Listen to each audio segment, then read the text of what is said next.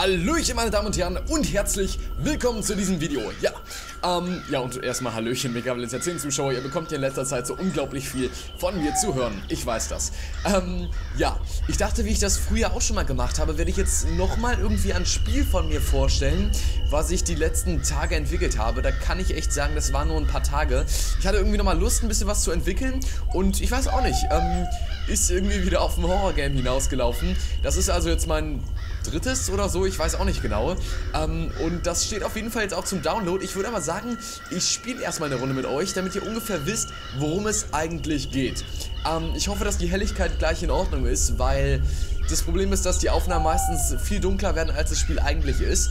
Ähm, ja, so, ich würde sagen, ich erkläre erstmal ganz kurz, worum es hier überhaupt geht. Das Spiel heißt A-Teddys und es geht eigentlich um nichts anderes, als in einem dunklen Wald zu sein und acht Teddybären finden und sich nicht von irgendwelchen komischen Schreckensbiestern erwischen zu lassen. Also es erinnert tatsächlich ein bisschen an Slender, ist vom Aufbau her ein bisschen anders, aber das werdet ihr gleich selbst merken. Ich würde sagen, wir gehen erstmal auf Wald erkunden und äh, reden dann weiter. So, also finde die acht verlorenen Teddybären. Und ja, ich würde sagen, ähm, wir machen uns da jetzt einfach mal auf den Weg, laufen hier ein bisschen rum.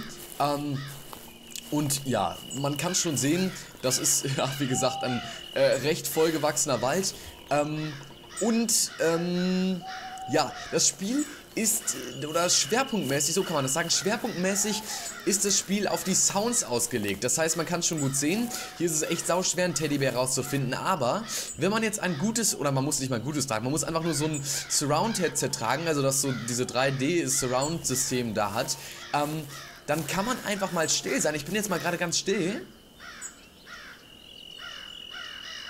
Und hinhören, ob man irgendeine Musik hört. Denn diese Musik deutet an, dass ein Teddybär in der Nähe ist. Die Musik ist nämlich vom Teddybären, also die, der Teddybär ist die Soundquelle. Ähm, und so kann man sich recht gut orientieren. Ich höre gerade, wir kommen näher.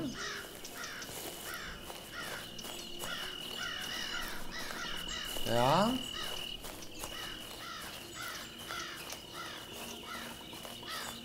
Aha. Und hier haben wir schon unseren ersten Teddy. Also der sieht so aus. Und dann nimmt man den auf. Und dann muss man halt noch sieben weitere Teddys finden.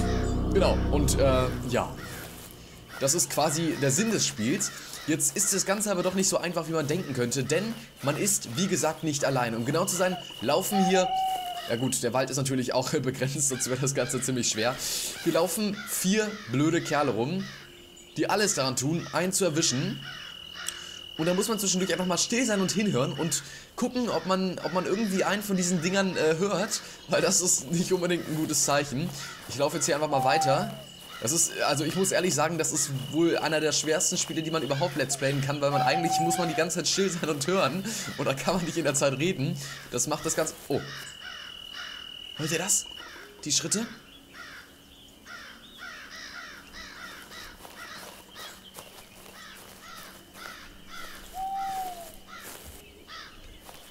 Ja, da muss man halt immer sehr gut aufpassen, wo man lang geht.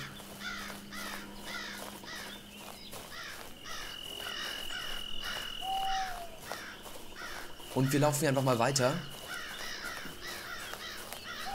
Und ich höre schon wieder die Musik. Ah ja, die kommt von, genau, von hier. Und ja, ich denke, ihr habt das eigentlich recht gut verstanden.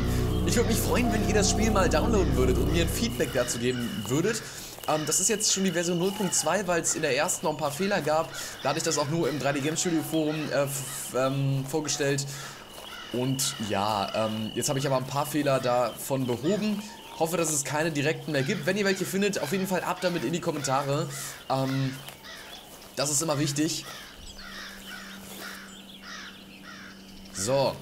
Und äh, ja, vielleicht findet ihr sogar heraus, was es... Oh, habt ihr gehört? Das Ding ist ganz in der Nähe. Ähm, vielleicht findet ihr sogar heraus, was es mit diesen mysteriösen Gartenzwergen auf sich hat, beziehungsweise mit diesem Gartenzwerg, der da eben stand. Ähm, würde mich mal interessieren, ob ihr davon einen schon äh, mal gesehen habt, wenn ihr das Spiel mal gespielt habt. Ja, äh, ich laufe jetzt hier mal noch ein ganz klein bisschen rum. Ansonsten glaube ich nicht, dass wir jetzt schaffen werden, alle Teddys zu finden. Wurde schon mal geschafft, also es ist tatsächlich nicht unmöglich. Ähm, ganz im Gegenteil, das ist sogar leichter als Slender. Ähm, aber das Ganze muss man eigentlich eben in einem, also in Ruhe machen und nicht wie ich es gerade... Oh, scheiße! Nein!